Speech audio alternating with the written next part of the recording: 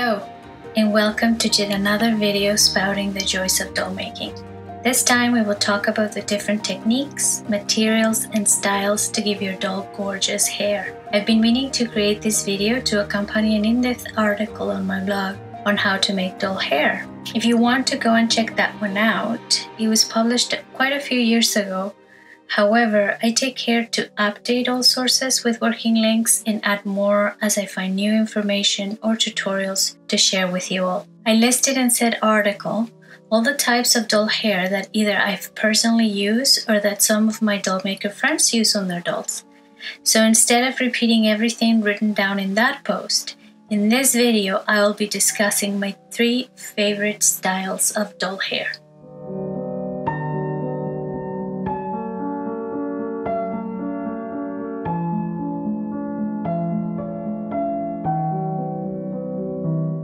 Starting with the all natural and most simple of all, mohair yarn.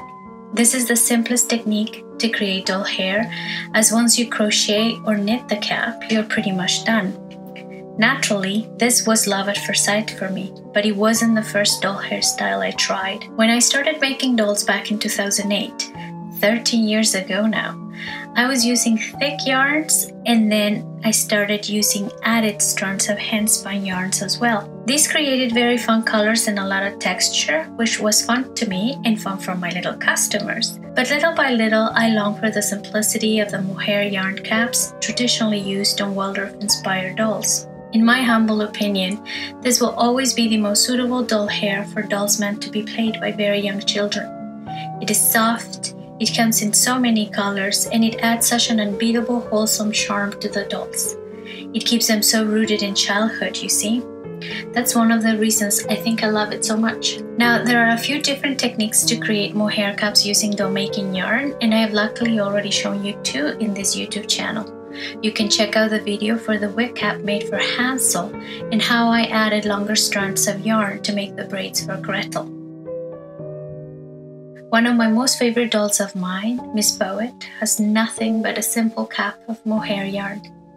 People have asked me countless of times why I never gave her long tresses with mohair weft or Suri alpaca, and the truth is that those types of hair age the dolls, or at least in my opinion add a realism to the doll that Poet doesn't really need.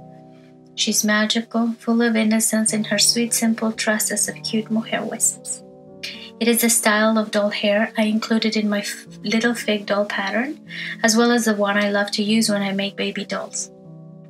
I just think it adds a very special quality to the dolls, allowing your imagination to run free and your playful sensibility to blossom. There are several brands that produce high quality mohair yarns used specifically for doll making. If you want to check them out, there are several links to articles placed in the video description box below.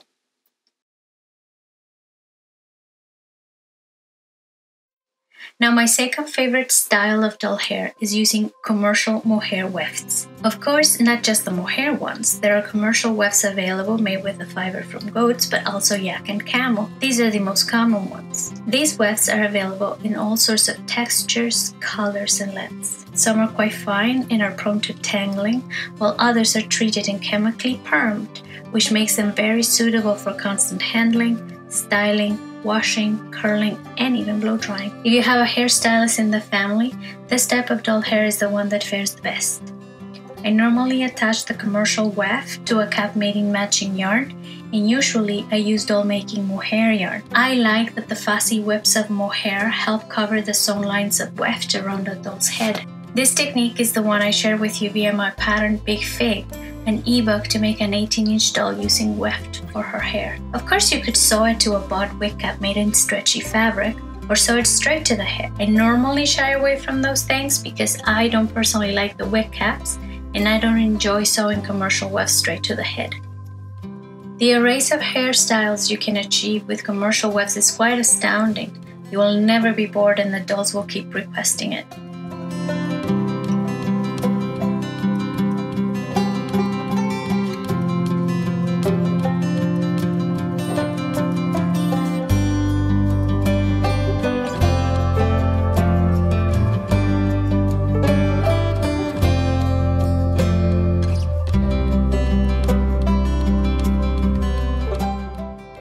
Call this hairstyle an intermediate to advanced technique as there are more considerations to take care of versus just making the mohair yarn cap. First, you use two or three techniques to make the hair. You have to use yarn that matches the weft color. You have to ensure the dye from the weft doesn't bleed. And you will have to contend with sewing a tidy final crown on the wig.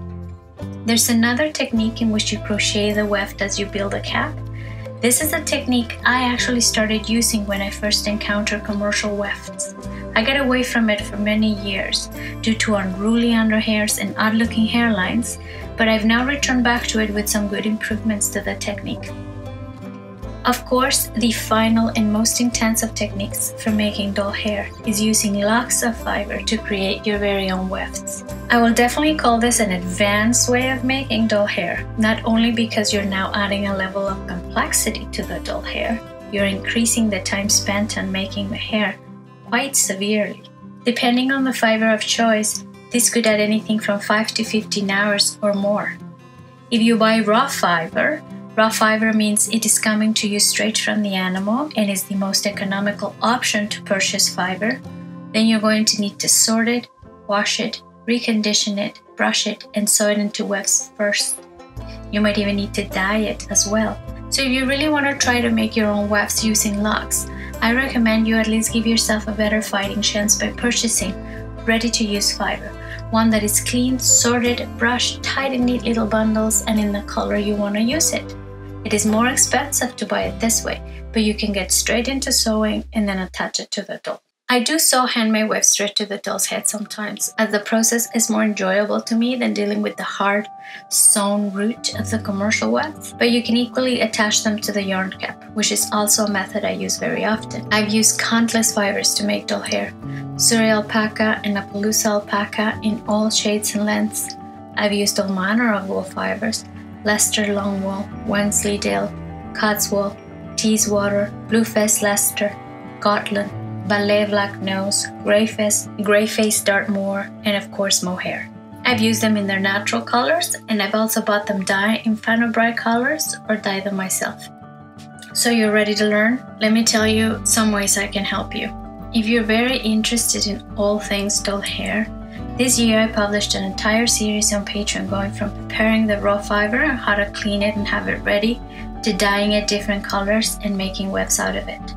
I also have many hair tutorials from previous years in Patreon, which will become available to you as you join the doll making tier. If video learning is not your thing, I also have a PDF ebook that shows you with step-by-step photos how to process Suri alpaca, how to make the wefts, and then how to attach them to the doll's head. So no matter your learning style, there's bound to be a way for you to experience and practice how to make doll hair for your dolls. I've shared many free tutorials and a step process in the article mentioned at the beginning of this video, so be sure to check that one first. I spent an inordinate amount of time designing my dolls making sure that the hair, the eye color, the skin fabric, and the clothing fabrics I offer them are close to their personality. I know I work rather backwards because I know the soul of the doll first, I know her name and who she is, and only then can I start to design the outside. I know who the doll is and in chats with her or him, I know then which style will be suitable to their character which skin tone complements their life background, and which fabrics might suit their personality and tell more of their story.